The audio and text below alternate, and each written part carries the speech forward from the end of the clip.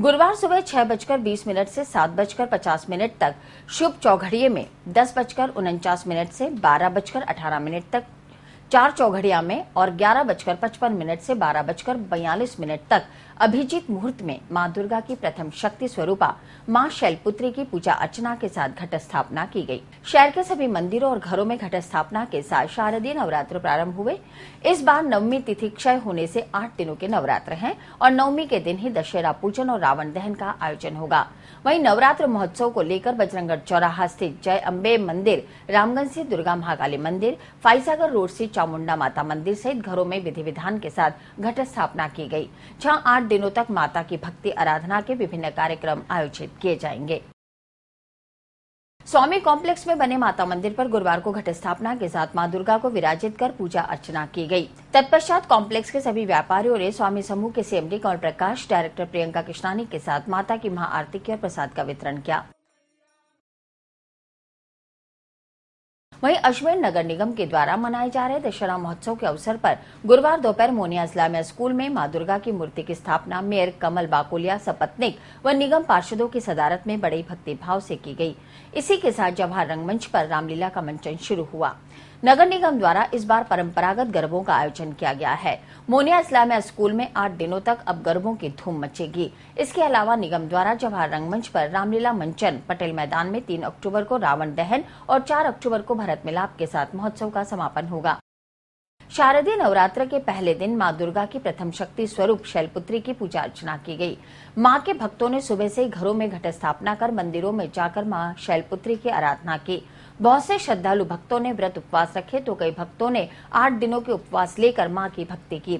अनेक स्थानों पर गरबे, दांडिया रास के आयोजन किए जा रहे हैं। गुरुवार को पहले नवरात्र के दौरान गरबा स्थलों पर माँ अम्बे की प्रतिमा स्थापित की गई, जहाँ शाम सात बजे से माँ दुर्गा की महाआरती कर गरबा रास का शुभारंभ हुआ। रामगंज गोविंद नगर दुर्गा महाकाली मंदिर में नवरात्र महोत्सव के दौरान विभिन्न कार्यक्रमों का आयोजन किया जा रहा है। गुरुवार सुबह कावड़ यात्रा पुष्कर से अजमेर पहुँची और ध्वजारोहण कर छप्पनवे नवरात्रि महोत्सव का शुभारंभ किया गया। इस अवसर पर सैकड़ों क्षेत्रीय महिलाओं ने सर पर कलश धारण कर गाजे बाजों के साथ निकाली शोभा यात्रा में भाग लेकर धर्म लाभ कमाया। पंडित त्रिजू नारायण दुर्गा पाठी के आचार्यत्व में भक्तों ने बड़ी श्रद्धा के साथ माँ दुर्गा की पूजा अर्चना कर उपवास रखे। यहाँ प्रतिदिन शाम सात बजे से गरबारास का आयोजन भी किया जा रहा है। आज माँ भगवती के दरबार में प्रातः पाँच बजे कावड़ यात्रा लाई गई। उसके पश्चात माँ भगवती का अभिषेक किया गया जल का और उसके बाद महिलाओं ने कलश यात्रा लेकर के रामवन से चली जो प्रातः साढ़े आठ बजे अपने पूज माता जी के पूजन के साथ ये कार्यक्रम संपन्न हुआ। उसी के साथ आज छप्पनवा नवरात्रि महोत्सव के उपलक्ष्य में श्री दुर्गा महायज्ञ का आयोजन किया गया। नवरात्र के एकम को बजरंगगढ़ चौराहे से जय अम्बे मंदिर पर माँ अम्बे का नैनाभिराम श्रृंगार कर मंदिर को भव्य रोशनियों से सजाया गया। यहाँ गुरुवार को जय अम्बे नवयोग सेवा ट्रस्ट के द्वारा माँ अम्बे की घट स्थापना की गई।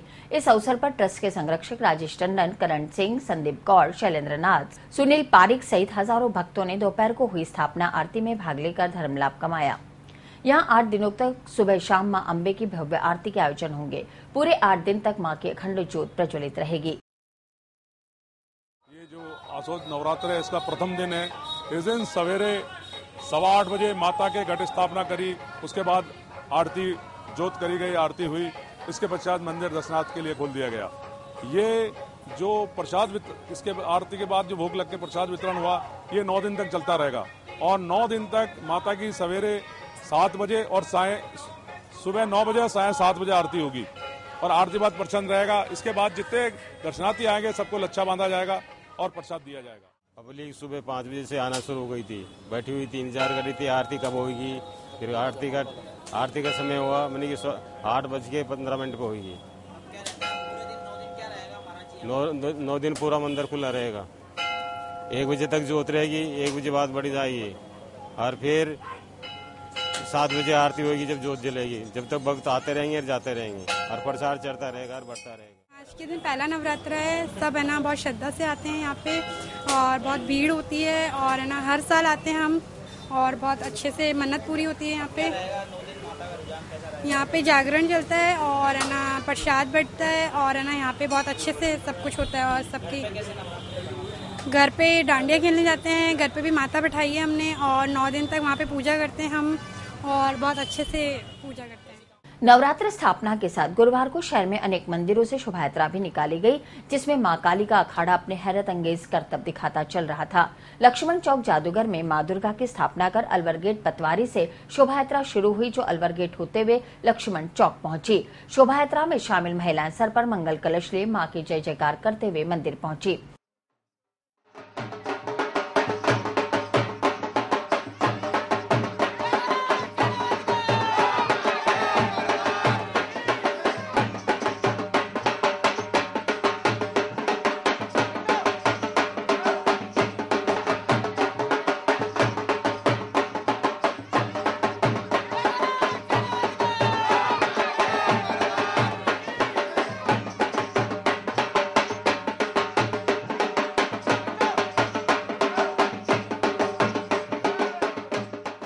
नाका मदार आम का तालाब शक्ति नगर में श्री राधा रानी गरबा मंडल के द्वारा मनाए जा रहे नवरात्र महोत्सव में गुरुवार को गाजेबाजों के साथ काली माता की सवारी निकालकर बड़े श्रद्धा भाव से माता की मूर्ति स्थापित की गई।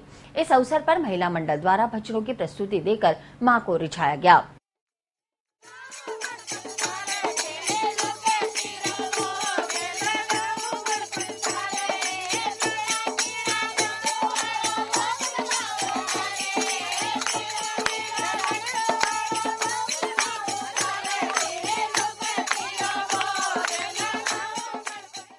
अच्छा डांडिया रास होता है यहाँ पे।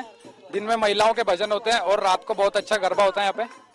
तो दो साल से हमारा बहुत अच्छा वो रहा है यहाँ पे। तीसरा साल है हमारा यहाँ पे। मूर्ति स्थापना के लिए सर हमने बहुत कुछ किया है और यहाँ से मोहल्ले से कुछ नहीं हुआ। तो हमने, सबने अपनी जेब से करके और ऐसा सब हमने किया है। माता का दरबार सजाया गया है काफ़ी अच्छे से, और यहाँ पे नौ दिन तक डांडिए होंगे। सभी मोहल्ले वाले और सभी बस्ती वाले यहाँ इकट्ठे होंगे और इस माता के उत्सव को मनाएँगे और अच्छे से डांडी खेलेंगे।